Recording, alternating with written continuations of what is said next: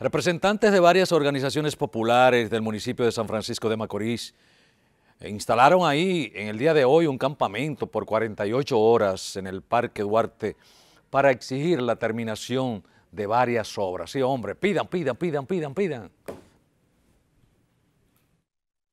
Aquí estamos diciéndole a las autoridades, mintiéndole a este pueblo, no se gana cumpliendo con las eh, nuestras, sí tiene que ver.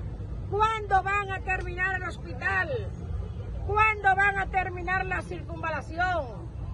El puente de Ugamba, eh, la Cañada Grande, la carretera Madeja, los sectores Olimpia, Mamatingó en Valle y ese grupo de comunidades, el Espínola, es que en estos momentos estamos dándole levantamiento a un, a un campamento diciendo y tratando de que las autoridades sensibilicen y entiendan de una vez que este pueblo está en pie de lucha, que este pueblo está movilizado porque lo han abandonado.